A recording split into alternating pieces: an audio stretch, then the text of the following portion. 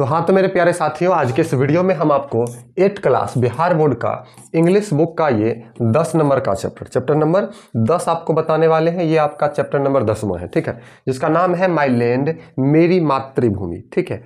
कविता है, बहुत ही अच्छा कविता है, लाइन बाई लाइन हिंदी अर्थ आपको बताएँगे। फिर इसके बाद इसका प्रश्नोत्तर इसी वीडियो में बताने वाले। तो चलिए शुरू करते हैं। लास्ट तक बने रहे। चलिए तो चलिए, हमारा पोएम शुरू होता है, जिसका नाम है माई लैंड मतलब मेरी मातृभूमि, जहाँ पर आप जन्म लिए, जैसे कि भारत में जन्म लिए तो भारत माता, ठीक है? तो यहाँ पर कभी कहते हैं she is a rich and rare land rich मतलब अमीर होता है रेयर मतलब दुर्लभ होता है। She is a rich and rare land O she is fresh and fair land fresh मतलब ताज़ा फेयर मतलब जहाँ पर सब मिलजुल कर रहता है। She is a dear and rare land dear मतलब प्रिय. This native land of mine अब कवि का कहने का अर्थात हुआ, यह धनी और अकेला देश है। She is rich and rare land यह धनी और दुर्लभ देश है, जो कहीं पर जल्दी नहीं मिलता है। O she is fresh and fair land अरे, यह हरा भरा और सुंदर देश है। यह हरा भरा और सुंदर देश है। She is dear and rare land यह प्रिय और अनोखा देश है। प्रिय और अनोखा देश है। This native land of mine यह है मेरी जन्मभूमि। यह है मेरी मातृभूमि। फिर से समझिएगा कभी क्या कहते हैं। She is rich and rare land यह धनी और दुर्लभ भूमि है जो कभी किसी को जल्दी नहीं मिलता। फ्रेश एंड अरे यह हरा भरा और सुंदर भूमि है, सुंदर देश है। She is a dear and rare land यह प्रिय और अनोखा देश है। This native land of mine यह है मेरी जन्मभूमि। यह है मेरी मातृभूमि। आगे बढ़ते हैं। चलिए, देखिए, अगला हमारा पंक्ति क्या बोल रहा है, उसको समझते हैं। No men than hers are braver अब कभी कहते हैं कि इसकी संतान से अधिक कोई बहादुर नहीं है। No men than her are hers are braver इस मातृभूमि का संतान के इतना कोई और बहादुर नहीं है। Her women's hearts nearer waver इसकी नारियों का हृदय कभी संकुचित नहीं होता। मतलब इस देश की जो बेटियाँ हैं, नारियाँ हैं, उसकी हृदय कभी संकुचित नहीं होता। I would freely die to save her इसकी रक्षा करने में मैं निश्चित निश्चिंत रह पाता हूँ। I would freely die to save her आप यह भी कह सकते हैं। मैं इसकी आज़ादी और इसकी रक्षा के लिए मरने को भी तैयार हूँ। And think my lot divine और हूँ अपनी पवित्र दुहाई देता। और मैं इससे अपनी पवित्र मातृभूमि के लिए कुछ भी करने के लिए मैं बोलता हूँ। तो कवि का कहने का मतलब हुआ कि no man than hers are braver her women's hearts nearer waver मतलब इसकी संतानों से अधिक कोई बहादुर नहीं है। यहाँ की बेटियाँ जो है, वो कभी उसकी हृदय संकुचित नहीं होती। I would freely die to save her and think my lot divine इस पवित्र मातृभूमि के, आज़ादी के लिए, स्वतंत्रता के लिए, इन्हें बचाने के लिए मैं अपनी जान न्यौछावर कर दूँगा। कवि का ये तात्पर्य है। देख लीजिए आगे कभी कहते हैं she is note a dull और कॉल्ड लैंड यह भद्दा और रूखा देश नहीं है यह खराब और रूखा देश नहीं है। No she is a warm and bold land bold मतलब साहसी। नहीं, यह कर्मठ और साहसी देश है। कैसा देश है? कर्मठ, यहाँ के लोग कर्मशील होते हैं, साहस वाले होते हैं। ठीक है? She is note a dull और cold land no she is a warm and bold land मतलब यह भद्दा और रूखा देश नहीं है, यह कर्मठ और साहसी देश है। ओह she is a true and bold old land oh, यह सच्चा और प्राचीन देश है। प्राचीन समय से इसकी प्रतिष्ठा कायम है। O she is a true and old land यह सच्चा और पुराना देश है। This native land of mine यह मेरी जन्मभूमि का देश है। यह मेरी जन्मभूमि है। यह मेरी मातृभूमि है। ठीक है? तो यहाँ पर कवि अपने मातृभूमि का वर्णन कर रहे हैं। ध्यान दीजिएगा अगला point could beauty ever guard her मतलब यदि इसकी सुंदरता इसकी रक्षा कर पाती। इस देश की जो सुंदरता है, अगर इसकी रक्षा कर पाती, ध्यान दीजिएगा and virtue still reward her और गुण भी इसे पुरस्कृत कर पाती। इस देश का जो गुण है, इसे पुरस्कृत कर पाती। No foe would cross her border foe मतलब दुश्मन होता है।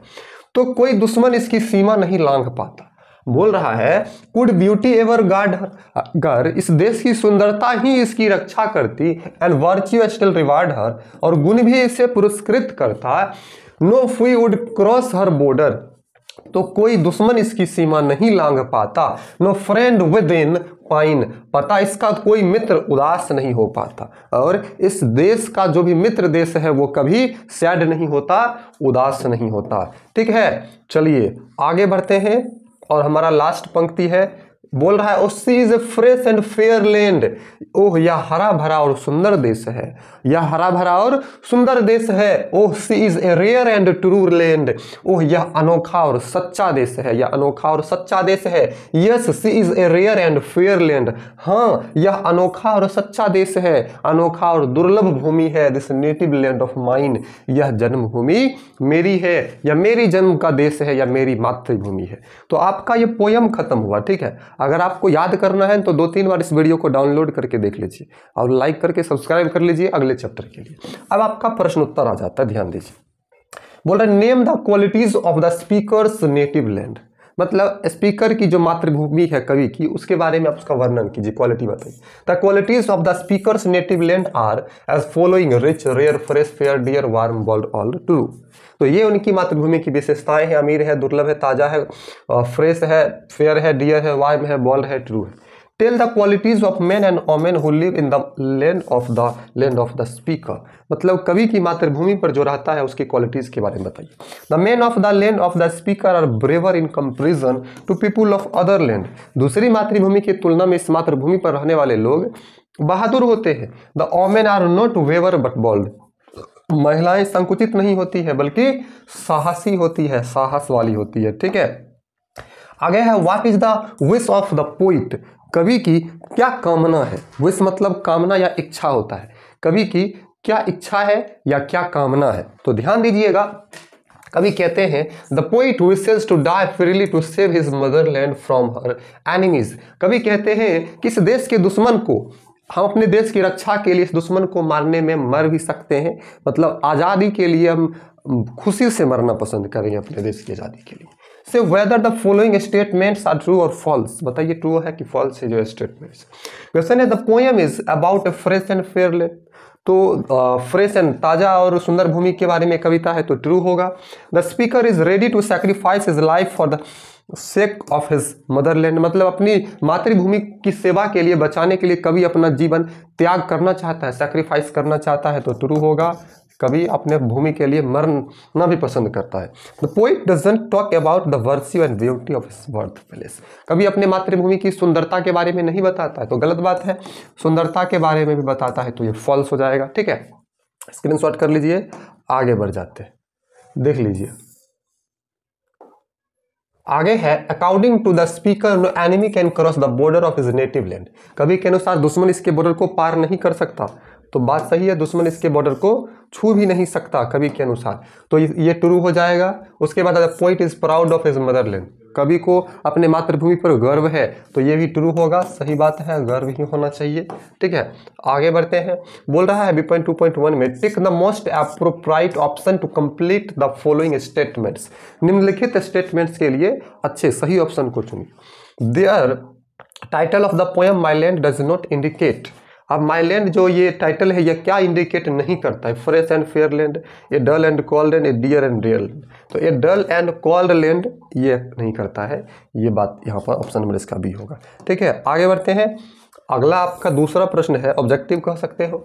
The poet says that his native land is guarded and rewarded by किसके द्वारा सुरक्षा और पुरस्कृत किया जाता the grace of God its beauty and virtue some unknown power तो इट्स ब्यूटी एंड वर्च्यू ठीक है its beauty and virtue no men than hers are braver the word her heirs refers to ये her किसके लिए प्रयोग किया गया तो ये हर जो है कॉमन ओमन के लिए प्रयोग किया गया है महिलाओं के लिए प्रयोग किया गया ऑप्शन नंबर बी तो आपका तीनों का ऑप्शन बी हुआ।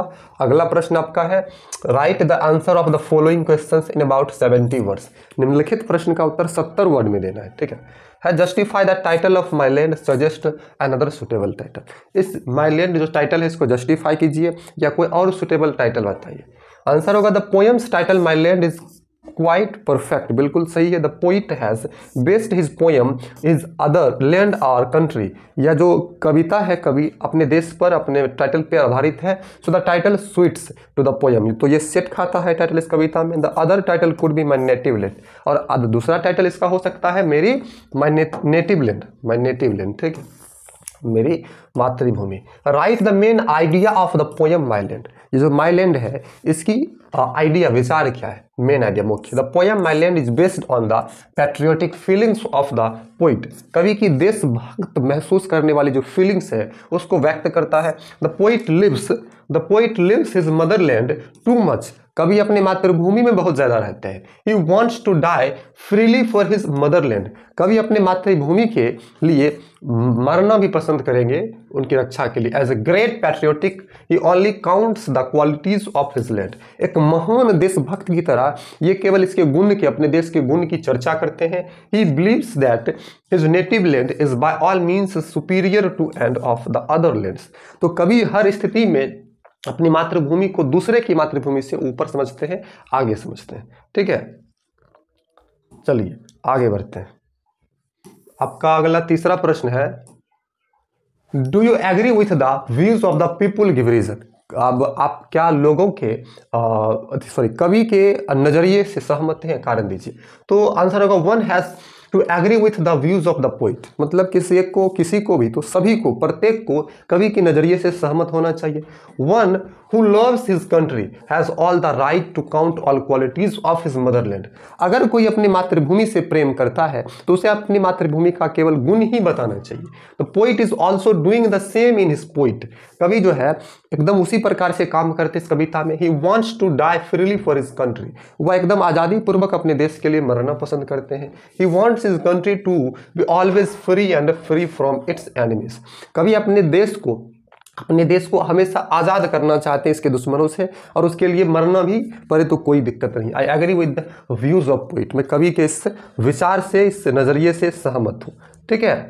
और लास्ट प्रश्न आप देख लीजिए इस पोयम का। What according to the poet are the qualities of one down country which one out to be proud of मतलब ऐसी कोई क्वालिटीज बताइए जिसके लिए हम अपने कंट्री पर गर्व कर सके। तो answer the qualities of once on country for which one should be proud of are such इस प्रकार से है, जैसे कि द कंट्री इज़ रिच अमीर है रेयर है, दुर्लभ है फ्रेश है फेयर है डेयर है डियर है वार्म है बॉल्ड है अकॉर्डिंग टू द पॉइंट कवि के अनुसार। ठीक है, कवि के अनुसार हमारी मातृभूमि ऐसी है।